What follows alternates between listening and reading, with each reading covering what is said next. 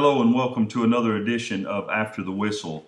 This is our first season and episode five of the podcast.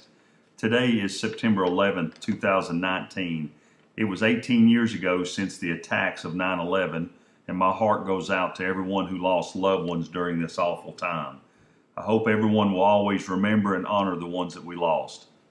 On today's podcast, we're going to recap the Kingston Austin East game from last Friday night, where Kingston lost 36 to 22, but had an awesome performance by the Kingston Yellow Jackets and fought all the way to the end.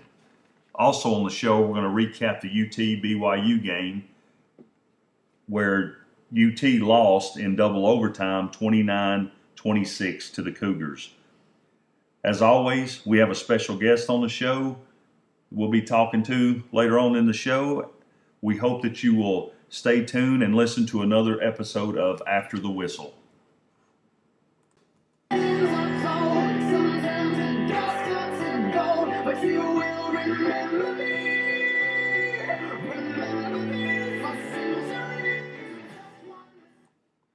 Welcome to After the Whistle. I'm your co-host Jody Mioduski alongside Brad Luttrell, Jeff Huffman.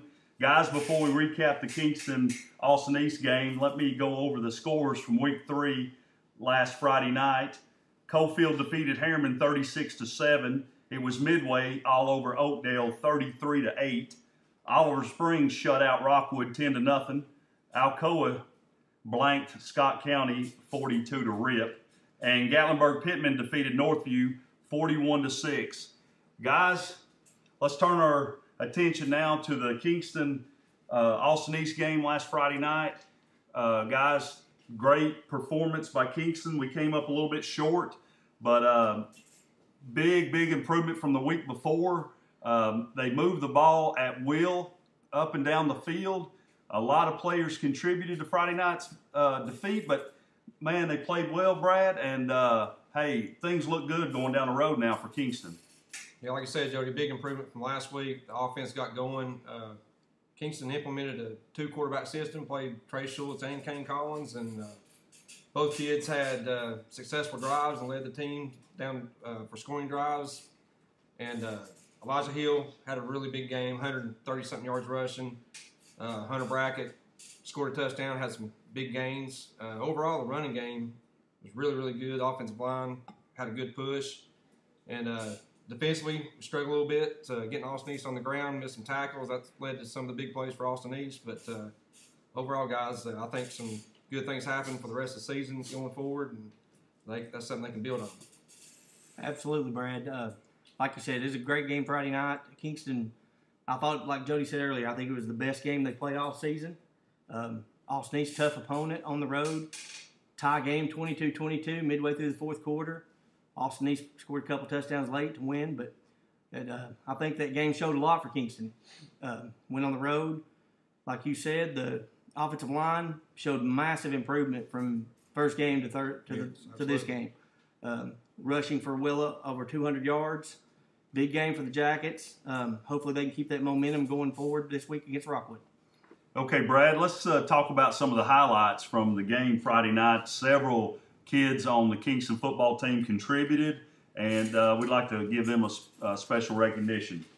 Yeah, Jody. Uh, I know Will Moore. He had a big interception in the game when the game was close. He had a big pick, and uh, also when the when Austin scored and made 28-22, Kingston got back down there again and had a chance to take the lead. Uh, had to go for it on fourth down and didn't get it, but just a great effort. Also, uh, you know, they hit that pass with Zane Rhines again. They did that in the Harriman game uh, that's the second time they've hit that pass this year. And guys, I I say it all the time in high school football. Unless you're playing a team like Alcoa, the middle of the field is wide open. I'd like to see them, you know, use that play some more. Also, defensively, guys, uh, Bradley Lurie led the team in tackles with seven. Uh, Preston Quiet had six stops, and Don Dana had five. So, uh, just a good effort overall by Kingston, and just need to keep improving. And I think there'll be a lot of wins going forward. Yeah, Brad, I think uh, the way they played Friday night, they keep that momentum going. They travel to Rockwood this Friday night. Uh, Huffman, man, I, I see uh, if they keep that momentum going, it, it's going to be hard for the Tigers to compete. No question at all. Um, with the offensive line showing what they did Friday night, with the running game with Elijah Hill and Hunter Brackett, and the two-headed monster at quarterback with Trey Schultz and Kane Collins. I look for Kingston to go to Rockwood and keep the momentum going and come out there with a win Friday night. One other note we, we need to mention about Marcus Rose had a pretty good game rushing. He he went out of the game late, uh, took a pretty good hit, but I did talk to his dad earlier today and said he's all right, been cleared to play, so he's going to be back to play um, uh, this Friday night. Yeah, Guy, Marcus, he's had a good year so far. Very solid in every game. Been very consistent. yeah, sorry about that, Brad, but yeah, guys, great recap. Um, we've got a special guest that we're going to talk to in our next segment. We're excited about, so we'll be right back.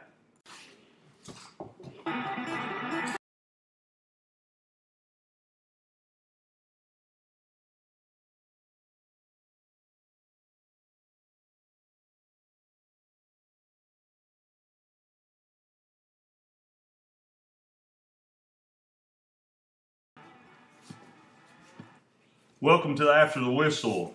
I'm your co-host Jody Mioduski alongside Brad Luttrell, Jeff Huffman. We're pleased to be joined by senior fullback and nose guard, number 18, Hunter Brackett. Hunter, thanks for being on the show with us today. Thanks for having me. Man, talk a little bit about the game last Friday night. You had a monster game. You had close to 100 yards rushing at the fullback position. Nice couple of runs that uh, kept the momentum going for Kingston. Talk about the. You guys did come up a little bit short, but talk about that confidence that you'll take with yourselves when you guys travel down to Rockwood. You know, I think we played pretty great last Friday, even though we lost. But uh, our line had a good push up front, and uh, they, it was a major improvement from last Friday. We were unrecognizable from the Oliver Springs game. We just had a massive, massive boost in confidence and played hard. Sidelines were pumped, just different atmosphere. Okay, Brad, you got a couple questions for Hunter. Yeah, Hunter, uh, you played on both sides of the ball this year. Uh, like Jody said, fullback and nose guard. Talk about what you had to do in the spring and summertime to condition yourself to be able to play on both sides of the ball. You know, we uh, did a lot of conditioning over the summer and, and workouts and uh, had major improvements. Uh, I know I got a little bit more in shape than I was last year. Got a lot stronger during the off season. Tell us a little bit about running up that hill over at Brentwood. Uh, I, I, you know, I hear some stories, and uh, I hear you guys uh, enjoy that run, and and and probably going to do it again here real real soon. What do you think about that run you guys do? I mean, it, it's fun. We usually have a pool party afterwards. Uh, Nice. But uh, uh, it's something I won't be able to do again with a team. and That's kind of that kind of puts me down. But I'm senior year. Just looking forward, looking forward to a great season. Huffman, you got a couple questions? Yeah, uh, Hunter, uh, Friday night county rival game, Kingston Rockwood, always a big game. Tell us about what some of the keys are Friday night for Kingston to go down to Rockwood and come out with a victory. Well, if we play like we did last Friday, we'll well, with the uh, same confidence and momentum that we have, we'll we'll play good. And the key, one of the keys to winning this Friday would be shut down number twelve, Nate Brackett from Rockwood, the quarterback. Uh, shut him down, then it should shut down their team. Just give us give us the win. Sounds good. Good luck Friday night. Hunter, uh, I got a, a couple more questions for you. Um, tell me a little bit about your uh, pregame meal. What do you what do you like to eat before you play a big football game, especially a big rivalry game? Well, uh, if it's away games, we eat on Thursdays, and we don't know really what we're gonna have. But uh, on home games, we eat the same thing: chicken, chicken, mashed potatoes, and green beans every Friday. Every Hey, Friday. Can't beat that with a stick. That's pretty good. That's, That's all good right. eating right there. Well, let me ask one last question. Are you a sausage or are you a bacon guy? Bacon. Bacon Good without a doubt. choice. Great choice. Hey, man, thanks for having us. We appreciate the time. Enjoyed it. Uh, good luck to you the rest of the season. Uh, take care of business Friday night. Uh, you guys played well last Friday. And uh, if you play like that again, you guys are going to win some games and set yourself up for uh, playoff time. So good luck to you, man. Jody, let me ask you one more thing. Yes, before we get sir. Off here. All right, Hunter, we're gonna ask you. Out of all the county rivals, Harriman, Rockwood, Oliver Springs, which which one do you dislike the most? Uh, Harriman, Harriman's up there, but I think Rockwood. Rockwood's number one, team huh? I can't stand. All right, that ain't, that's good. All right, man. Good luck to you, and thanks for thanks for being here.